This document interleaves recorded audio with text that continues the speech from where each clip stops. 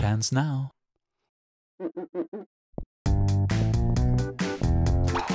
Wash hands now.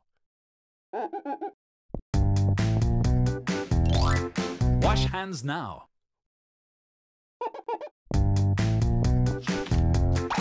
Wash hands now. Hand washing is one of the best ways to keep from getting sick and staying healthy all year long.